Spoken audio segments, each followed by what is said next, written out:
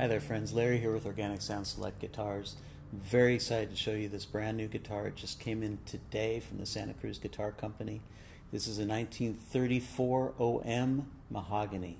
It's got uh, old growth Adirondack spruce as the top wood.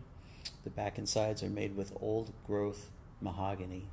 It's unbelievably responsive, warm, absolutely wonderful instrument. You can find it at Organic Sound Select Guitars. Thanks so much for watching, folks.